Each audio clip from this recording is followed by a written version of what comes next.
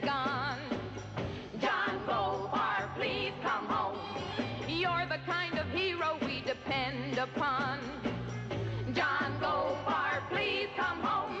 There's no one, no one as brave as you, but no one, no one as long overdue. We somehow, somehow don't think it's right to take a U2 plane and then drop out of sight. Yeah, yeah, yeah.